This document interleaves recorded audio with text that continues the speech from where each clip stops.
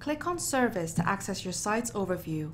Once in the site's overview, scroll down to the bottom of the page and select the site you want to view. Then click on Visits in the secondary navigation bar.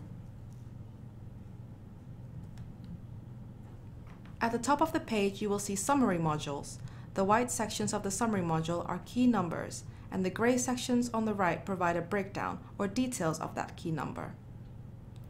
Underneath the Summary modules, you will find a table outlining all the visit dates and an overview of the findings that were found on that date.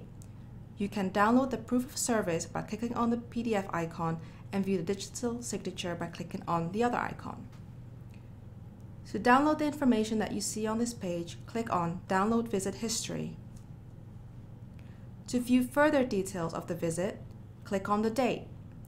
Here you will see an overview of the visit, including the name of the technician and visit notes.